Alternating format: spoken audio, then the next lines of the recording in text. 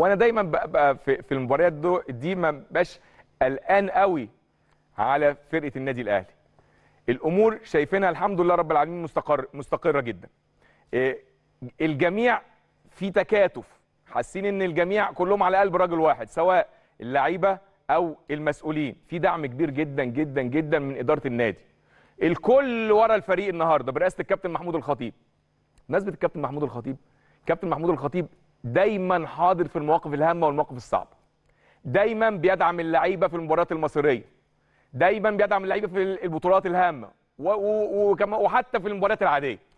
مهما كانت النتائج هو أكبر داعم للفريق هو مجلس الاداره مهما كان المستوى.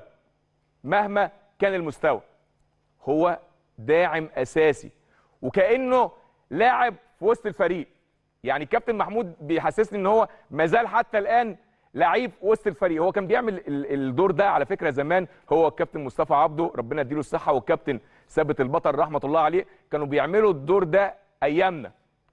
وكانت تبقى حاجة كبيرة جدا جدا جدا بالنسبة لنا إن ال- الثلاثي الكبير قوي ده بيدعمنا وبيدينا النصايح وواقف في ظهرنا. حتى لو إحنا بنبقى خايفين شوية في خوف أو في قلق لا هم كانوا بيزيلوا مننا القلق ده.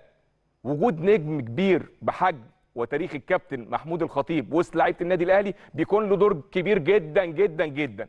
تحفيز دعم يمكن بقول لحضراتكم اللي مش مجرب ممكن يجي يقول لك انت بتقول إيه؟ انت بتقول أي كلام وخلاص؟ لا. لا لأن أنا مجرب الكلام ده. جربته وأنا لعيب في النادي الأهلي. لما حضرتك تجربه تلاقي بقى الكابتن محمود الخطيب وكابتننا الكبار من أكبر العوامل المحفزة في الرحلة دي صفته رئيس النادي كابتن محمود الخطيب. كابتن محمود الخطيب مهما اتكلمت عنه مش هقدر أوفي له حقه. تاريخ. كابتن محمود الخطيب مازال يحافظ على شكله كنجم.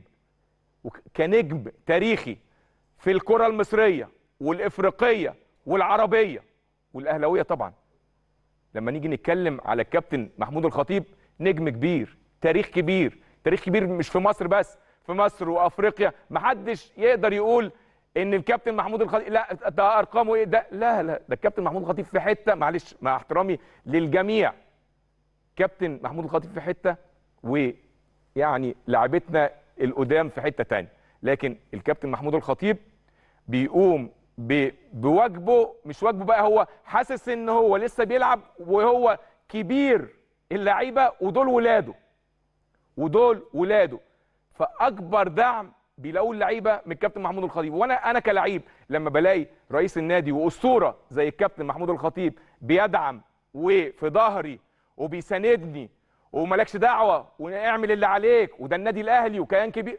لا ده أنا مش هقول لك بقى ده ده يعني مش أكبر حافز. لا ده أنا أنزل أموت نفسي في الملعب. أنزل أنا مش محتاج طبعا كلاعب النادي الأهلي.